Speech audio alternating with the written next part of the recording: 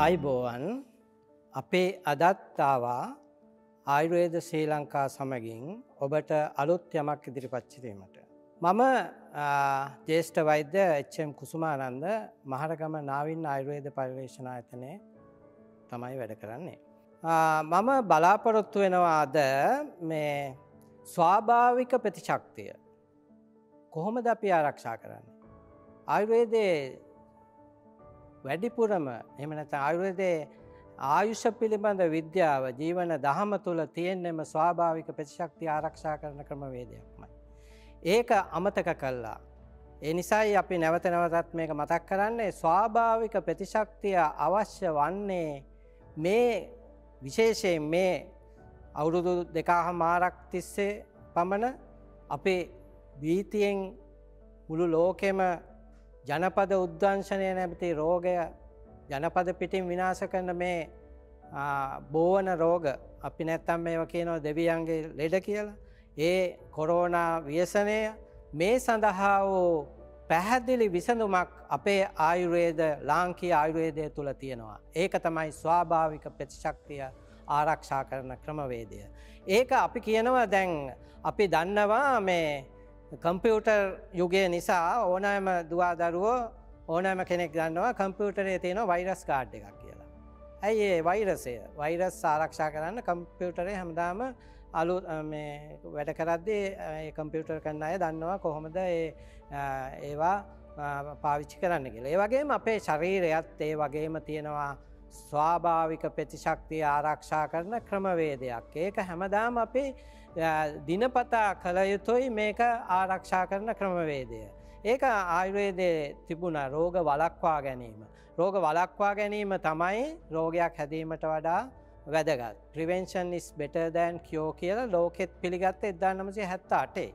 අල්මාටානුවර ලෝක සෞඛ්‍ය සංවිධානයක්. ඊට ඉස්සෙල් අපිට අවුරුදු පන්දාහකටත් ඇත එපිට යන මේ ආයුර්වේද ලාංකී ආයුර්වේදය ක්‍රමය තුළ එදා අපේ රිසිවරු අපේ වෙද මහත්තුරු දැනගෙන හිටිය මේක. ඒ නිසා තමයි එදා ඉපදිච්ච ගමන් ළමයට රථකල්කය දුන්නේ. දවස් හතක් ඇතුළට රථකල්කය දුන්නා. ඒ රථකල්කය දුන්නේ මේ ළමයාගේ ස්වාභාවික ප්‍රතිශක්ති ආරක්ෂා කරන මේ ගර්ම කලාපිය අපේ රට ඒ ගර්ම කලාපේ රට තුළ සියට හැත්තාවක් අසුවක් විතර ඉන්නම රත්ත දෝෂය තියෙන අය.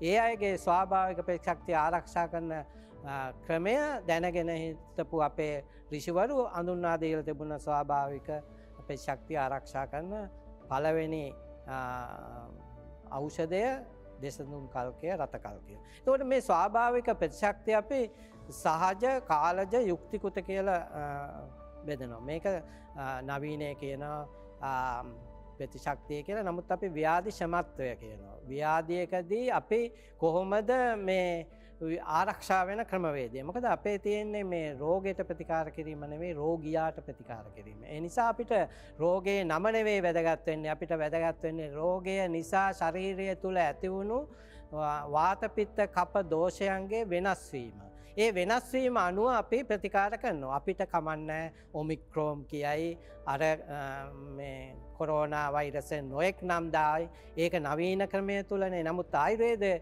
වෛද්‍ය ක්‍රමය තුළ තියෙන්නෙම පිටිං එන බාහිර දූෂිත වෛරසයක් හෝ බැක්ටීරියාවක් හෝ නිසා වෙන හේතුවක් නිසා මොනවහරි මනුෂ්‍යයා හදල වෙන්න පුළුවන් හද වෙන්න පුළුවන් ස්වභාව ධර්මයෙන් ඇති වෙන්න පුළුවන් ඒ කොහොමාවත් අපේ ශරීරය තුළට ආවොත් එය මර්ධනය කල් ආරක්ෂා කරන ක්‍රමවේදය තමයි ව්‍යාදීශමත්වය ඔන්න ඔය ව්‍යාදීශමත්වය ආරක්ෂාවන ක්‍රමවේදයක් තමයි අපේ මුලින්ම සඳහන් කරේ මේක කොහොමද අපි ආරක්ෂා කරන්නේ. අපි ලෙඩේ හැදෙන්ට පෙරයි අපි මේක කරන්න බලාපොරොත්තු වෙන්නේ. ඒ නිසා දිනචර්යාව දිනපතා අපි කළ යුතු දේ සහ නොකොළ යුතු දේ කියාදීල තියෙනවා. ඒක තමයි අපේ ප්‍රධාන ඒක දිනචර්යාව දිවාචර්යා රාත්‍යචර්යා කියල කියන උදේ පාන්දර පාන්දර ඇහැරෙන්න්න කියලා තියෙන්නේ පහත් හතරයි හතලිස් තුනත් පහත් අතර කාලය පාන්දර.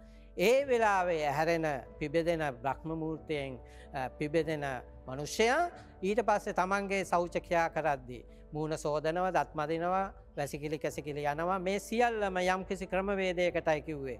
වැසි මූුණ සෝදන එක දත්මදින එක දැන්වගේ නෙවේ දැහැතිකූරු පාවිච්චි කරේ එවැනි ක්‍රමවේදයක් තියෙන අපි ඉදිරිය දේව ගැන කතා කරමු මෙතනදි වැදගත් වෙන්නේ සෞච්චකයා කිරීමේදී අපේ උදේ පාන්දර හැමදාම වැසිකිසි කැසිකිලි යනවනං අපේ උත්කුටයෙන් වාඩි වෙලා කරන්න ඕනේ. නැතුව දැන් අපි ඔක්කෝම පුරුදු වෙලා තියෙන්නේ කොමර්ට් කියන එකක්. ඒකෙන් ඒක අතීතය අපේ වෙද මහත්තුරු කිව්වේ අසනීපයක් වුණහම පුටුවක් අපල වාඩි වෙන්න තාව කාලෙක කකුලන්නවන්න නමුත් අපි පොඩි ළමය ඉදම්ම මේක පුරුදු කරලා තියෙනවා. අන්න ස්වභාවික පෙ ශක්තිය විනාශ වෙන පලවෙනි පහර පොඩි ළමයගේ නම්ම කොමඩ් එක කරුණා කල ඒවා ඉං කරගන්න ඕන. ඊළඟට අපේ ආහාරය ආහාරය ගන්න කෙල් තියෙන්නේ ආමාශයෙන් අඩක් ගනාහාර. ඉතුරු කාල අපි ගන්න කියන්නේ ජලය එම නැත්තං යුෂවර්ග ඒ ඒවා කාලක් ගන්න ඉතුරු ආමාශයෙන් ඉතුරු කාල හිස්ව තියෙන්න්න ඕන. එතකොට තමයි ස්වභාවයෙන්ම ශරීරයේ ආහාර ජීර්ණ ක්‍රියාවලිය වෙන අපි දන්න ඕනේ සම්පූර්ණයෙන්ම මේ අපේ දැම්මොත් මේ බෝතලයකට වැලි ටිකක් හොළවන්න බෑනේ. ඒක වගේ තමයි ආමාශයටත් භාගයයි ගනාහරදාන්න ඕන. ඉතුරු කාල ද්‍රව ද්‍රව ආහාර යුෂවර්ග ඉතුරු කාල හිස්ව තියෙන්න්නවන එතකොට තමයි මෙන්න හැමදාම ගන්න ක්‍රමවේදේ ආහාර ඔය විදිට ගන්න ඕනේ. ඒ ඒ වගේම එළඹ සිටිවේගෙන් අපි ආහාර එළඹ සිටි කල්පනාවෙන් එකක දේවල් කී කියා තරහ සිතින් ගන්න නෑ මෛත්‍රී සිතෙන් ආහාර ගන්න ඕන. ආහාර ගනිද්දිත් අපි ඒ ආහාර දුන්නු කෙනා හදපු කෙනා ඒ පටි සංකූල මන්නංචිකාරයෙන් අපි ඒකට ඒ නය මිදී නිදහස් වෙලා ආහාරගන්න ඔවැනි ආහාර රටාවකට හොරු වෙච් අපේ ඊළඟට අපේ පාඩන් කරනවද? රැකියාවට යනවද? ඒවා යන්න යන්න කොටත් අපි කරන කියන හිතන පතන ලියන දේවල් සියල්ලම තමාටත් හානි නොවට අන්න අන්න අයටත් හානි නොවන දේම කරන්න ඕන. ඒක තමයි අපේ පරම මෛත්‍යය කියන්නේ. ඒ පරම මෛත්‍යය නිසාත් අපි ගන්න ආහාරය විශේෂයෙන් කියන්න ඕන නිර්මාංශ ආහාරයක් ගන්න කියන්නේ. අපි අපි ශාක භක්ෂකයි. කවුරු හරි කියනවන සර්භ භක්ෂක කියලක පට්ටපල් බොරු. අයිඩුවේදේ කියන්නේ අපි ශාක භක්ෂක ශරීරයක් තියෙනෙද. අපි දිවෙන් වතුර බොන්නේ නෑන අපි බොන්නේ තොලෙන්. එතකොට අපි ඇස් අරගෙන ඉප දෙන්නේ නෑනේ පූස වගේ අපේ හරකවගේ ඇස් ඇරලා ඉප දෙන්න. ඒ වගේ ශාකපක්ෂක ගුණ රාශියත් තියනවා බඩවැල් අපේ දිගයි අඩි තිස්නමයක් අරකගෙත් එහෙමයි. හැබැයි කොටියගේ අඩි එයාගේ ශරීරය ප්‍රමාණයට තියෙන්නේ. ඒවා මස් අනුභවය කරනද. අන්න මස් මාංස කෑවොත්වෙන්න ස්භාගපක්ෂති හානිවෙන. ඒ නිසා අපි කියන්න නිර්මාංශ ස්වාභාවික ආහාර ගන්න ඕන ගන්න විදිහත්මං කිව්වා ඊළඟට අපේ තමන්ගේ රැකයා කරන කාලය තුළ මනස ඒ විදියට තියාගන්න ඕන ආහාර විහරණ මනස.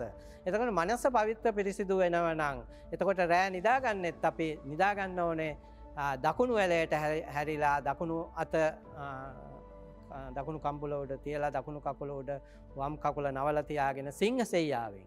අන්න එවැනි දිනචර්යාවක් ගත කන්න අපේ ස්වාභාවික පෙශක්තිය හැමදාම අප්දේට් වෙනවා. එතකොට අපිට ඔය බාහිරෙන් එන අපි හුමාලයල්ලනවා. හැමදාම මූුණහෝදද්දේ සරෝෂාදී තෙල් ටිකක් නහය ගාල හුමාලයල්ලනවා. ඒ අපි දත් කරා දච්චරා හිටත් කරනවා. දැම් මේ කාලය තුළ අපි දවසට දෙපාරත්තුම් පාරක් කරට කමන්න අන්න අන්න ලේර එකක් හැදෙනවා ස්වභාවයෙන්ම අපිට අර ඔය මාක්ස් දාල කන්න වැඩ ඒවයින් කෙරෙන්න්නම ස්වභාවික ඔක්සිජන් අපිට ලැබෙන්නේ නෑ. ඒවනවේ අපේ තියෙන්න අපේ තියෙන්නේ තනිකරම හුමාලයල්ලන ක්‍රමවේදයක් තියෙනවා ඒකෙන් ලේර එකක් ඇති වෙන විසිබීජ ශරීරයට එන්නේ නෑ ඒක හැමදාම කළ යුතුයි. එහෙමනැත්තු අර වාහනේ සයිලන්සරයට වහල කරොත් වාහනයට වන හානිය තමයි දැම් මිනිස්සුන්ට වෙලා තියෙන්නේ.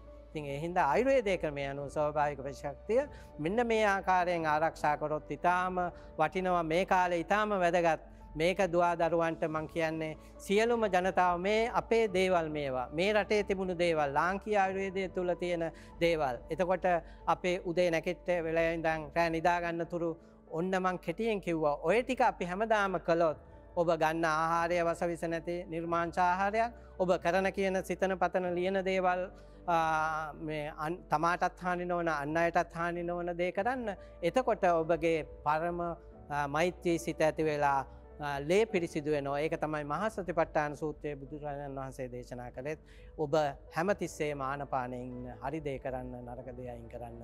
එතකොට මනස පවිත්ත පිරිසිදු වෙනවා. සත්ව රජස් තමස් කියන මානසික දෝෂයන්ගෙන් සත්ව ගුණය ඇති කරගන්න කියලායි කියන්නේ සත්ගුණය. රජස්තමන් නැති කරලා ඒක පරමයිතියෙන් ඇති වෙනවා. එතකොට ලේ පිරිසිදු වෙලා ස්වාභාවික ප්‍රශක්තිය ආරක්ෂා වෙනවාමයි. ඔබට මේ ව්‍යසනයෙන් බේරෙන්න්නත් සියලුම රෝගෝලින් බේරෙන්න්නත් විසඳුමක් තමයි අපි අද ඉදිරිපත් කරේ ඔබට සුවපත්වේවා නිරෝගී වේවා.